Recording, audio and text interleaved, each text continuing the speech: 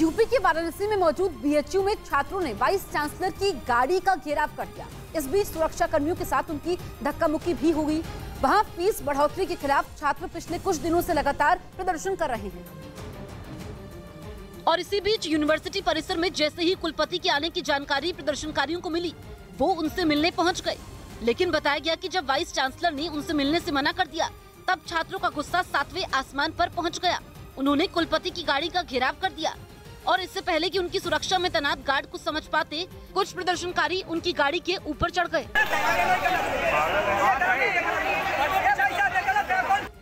ये देखकर सुरक्षा कर्मियों के हाथ पाँव फूल गए। वो तुरंत एक्शन में आ गए।